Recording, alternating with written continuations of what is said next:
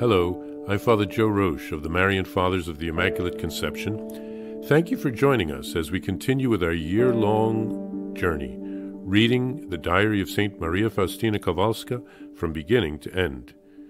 Today, we take up from where we left off, beginning on diary entry number 39.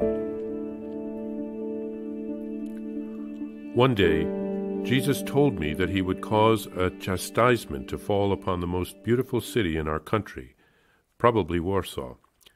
This chastisement would be that with which God had punished Sodom and Gomorrah. I saw the great wrath of God, and a shudder pierced my heart. I prayed in silence. After a moment, Jesus said to me, My child, unite yourself closely to me during the sacrifice, and offer my blood and my wounds to my Father in expiation for the sins of that city. Repeat this without interruption throughout the entire Holy Mass. Do this for seven days. On the seventh day, I saw Jesus in a bright cloud and began to beg him to look upon the city and upon our whole country. Jesus looked down graciously. When I saw the kindness of Jesus, I began to beg his blessing. Immediately, Jesus said, For your sake, I bless the entire country and he made a big sign of the cross over our country. Seeing the goodness of God, a great joy filled my soul. The year 1929.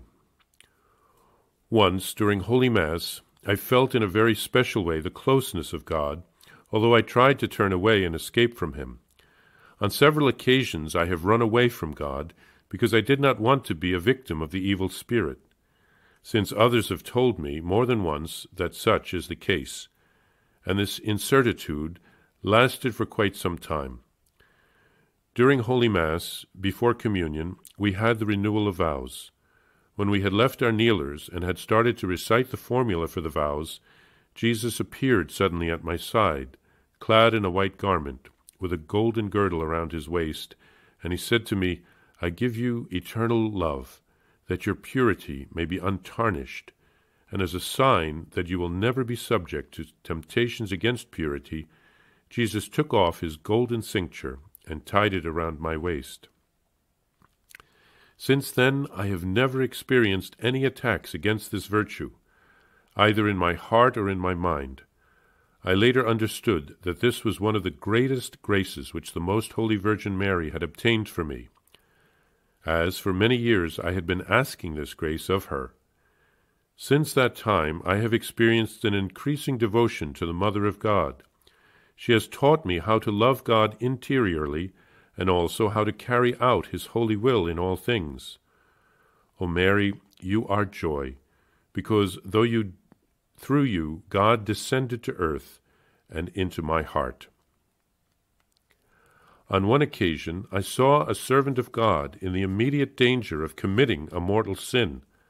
I started to beg God to deign to send down upon me all of the torments of hell and all the sufferings he wished, if only this priest would be set free and snatched from the occasion of committing a sin.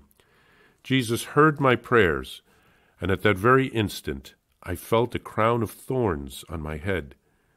The thorns penetrated my head with great force right into my brain. This lasted for three hours. The servant of God was set free from this sin, and his soul was strengthened by a special grace of God.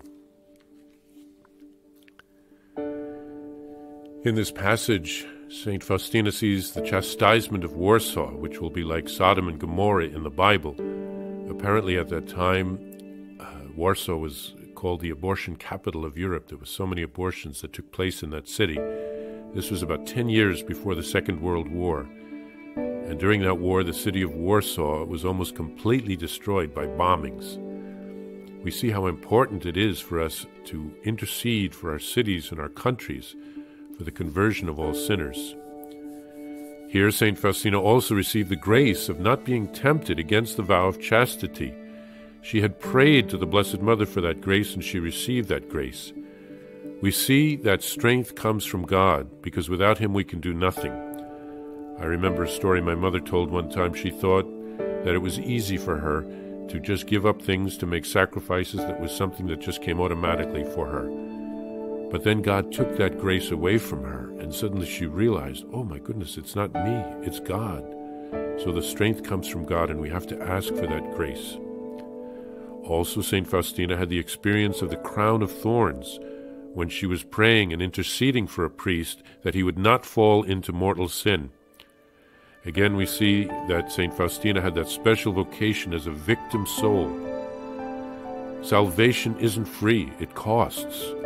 Jesus paid the ultimate price for us when he gave his life on the cross, and we can assist Jesus with our prayers and our sacrifices.